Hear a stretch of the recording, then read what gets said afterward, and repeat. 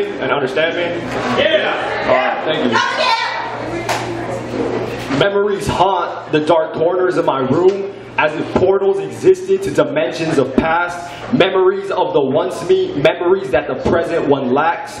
Frames hanging on the walls of my mind of endless nights in front of ATV, of me and the oldest son playing heroes we'd never be, from Mortal Kombat to Call of Duty 3, of a grandfather going through stages of diabetes till the day he remained breathless, of my dogs Bowie and Zipper that grew beside me till death called as a cruel temptress, scenes with play of the young me and the fist thrown to protect the ones that couldn't. I had no fear of those bullies and fear them, no one wouldn't. Of my homies down the street and the streets after that, and the long days playing in those streets till the sunset called us back. I remember I was 10 and I remember the sound of music and when I joined that first session, the tallest bass was mine, the first seat was mine, the bow and the strings would collide to create that sheet's message.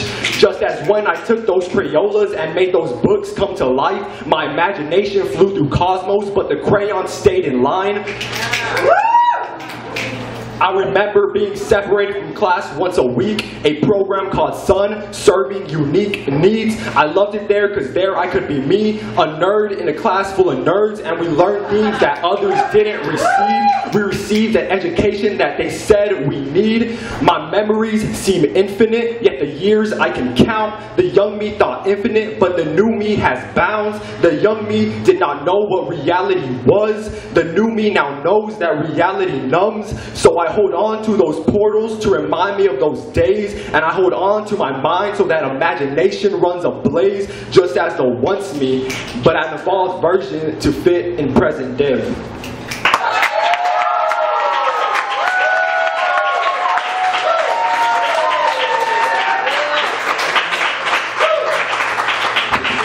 Give it up for Boy one more time. Do you have something to say?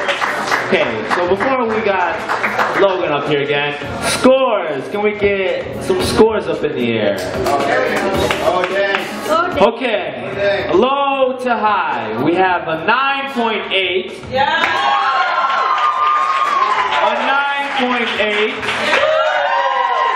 and three 9.9.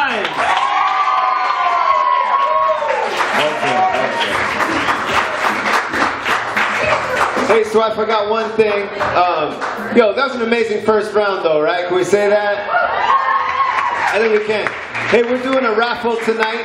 Oh, for every, if you are 23 or younger, which is our kind of uh, target audience and folks we're most interested in censoring in the space, for every social media account of uh, Tucson Youth Poetry Slam that you follow, we are going to give you one ticket, and we are going to do a raffle right after the break. For